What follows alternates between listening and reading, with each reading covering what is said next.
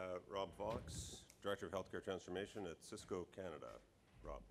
Well, I'm very honored to be here. Thanks, David. Um, and it's great to see a lot of colleagues I haven't seen in a long time, uh, friends and uh, professors even. So thank you. Um, my insights today are going to come from my work as a hospital administrator for 20 years and a hospital builder, uh, as well as working for a preeminent technology company in the world. Um, I want to share with you my thoughts on value, integration, and outcomes. But I also run the risk of talking about healthcare funding models and losing you. So it happened last night at dinner. It happens on, on weekends with my friends when I talk about this passion I have for the math and the funding models. Um, so hopefully uh, you stay with me, and it just builds on Dr. Pister's talk about the infrastructure pieces. So the funding model Frederica talked about is, is very complicated. Uh, people like to talk about HBAM, QBP, you know, uh, uh, post-construction plan uh, funding, uh, incentive funding, wait time funding. These are very, very complicated models. They include regression, they include very, very detailed accounting, and really we don't appreciate how they all actually come together and they overlap. But each of them has a specific purpose. So the first one is around efficiency, HBAM. The second one is around models, standardization, cost, and even creating competition within our healthcare system.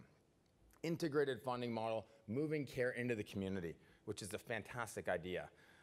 And, and then the envelope funding, which is the majority of our funding on a single funding basis, is just historic money that's been built with interest and some incentives over time.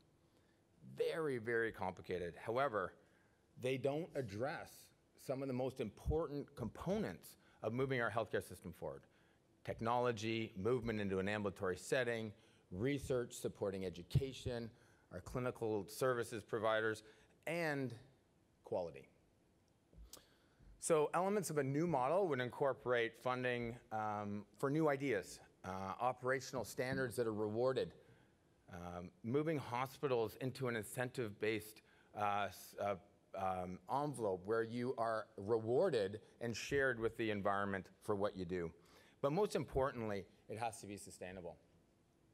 Now, I tried to jam my whole thesis onto this one slide, and it didn't really work. So I'm going to walk you through this. But my idea and my, um, my emphasis for this talk is around leveraging an existing funding model that many of us aren't aware of. And that is around how hospitals build new hospitals. So in that environment, we spend tens of billions of dollars of new money. We leverage hospital intellect, hospital expertise, and as I talked to David once about charging the teaching hospitals with leading these innovative charges. This is an environment in which we're actually adopting new innovative technologies, and we don't even really know it. And, and how are we going to really capitalize on this or maybe even build on it? So if you don't know how it works, hospital goes to the ministry, gets approval for a new project. Then they cr create this, this group with this planning, design, compliance, architects, designers, really thought leaders, and we all come together and we create what's called an output, uh, project-specific output, um, project-specific output specification.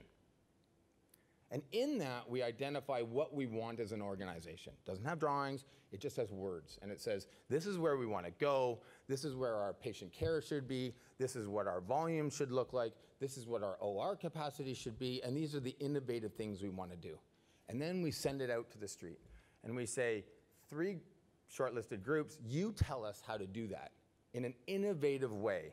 And we keep these walls between these three ideas and they all compete on innovation, operational sustainability, and excellence on this. And then the winning bidder, the losers they actually get paid, but the, the, the winning bidder actually adopts the ideas from the two, winning, to the two losing bidders, and we create this fantastic model that then becomes a standard within the output specs that we share and steal from other hospitals, and so the story keeps going. So how do we really leverage this risk transfer to the private sector, private sector procures many of these things and design for a future that's 30 years out. I mean, I think this is a fantastic model that could be adopted from an innovative perspective.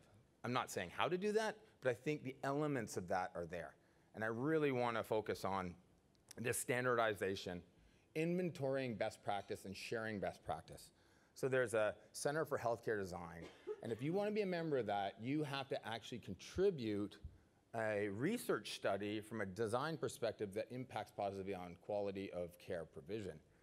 And this is a sharing uh, and becomes a standard for people, how people adopt and, uh, and build new hospitals. It's a way of integrating systems together. How to create this linkage between these, these hospital sites to create one hospital on many sites instead of many hospitals on many sites. And obviously, how do we connect our LHINs together in, in different ways? It also connects the agendas.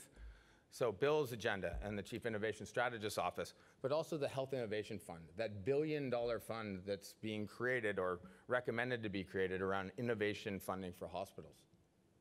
But we spend tens of billions of dollars per year building these new hospitals. So how do we leverage that investment and force that innovative culture and, and requirement within this, uh, within this model? Um, I want to talk just as an example of a, of a use case or a case where this has been, I think, successful. And I'm not sure if you've heard of the Mackenzie Innovation Institute. It's Mackenzie Health's um, uh, innovation uh, unit. They take, take a whole unit within their hospital and they started implementing ideas around devices, around technology, around process change. And, and you know, innovation is not just a device, a drug, or a technology, it's also a process. So how do we change our processes, leveraging those other tools? And uh, Mackenzie Hospital made this 28-bed unit into their innovation center, where they brought in the technology, evaluated in a live patient care environment, and determine whether it's good enough to adopt into their new Vaughan Hospital, which is going to be a $1.3 billion build up near Canada's Wonderland up the road. They carved out the ICAT, Information Communication Automation Technology, from the bid because it's so important that the bricks and mortar people are not determining the technology innovation. So they've highlighted the importance of innovation in this design. And they're co-developing not only with the big companies, but with smaller companies too, on how to really disrupt and transform care. They're doing fantastic work around fall prevention um, in ways that are leveraged with tools through integrated service buses, through alerts, alarming, algorithms, um, almost into the AR, AI realm. They're not quite there yet. Infection control, how are they making sure that clinicians wash their hands between patients with alarms and alerts and, and, and systems to prevent uh, that uh, unfortunate uh, nosocomial infections. But also staff optimization.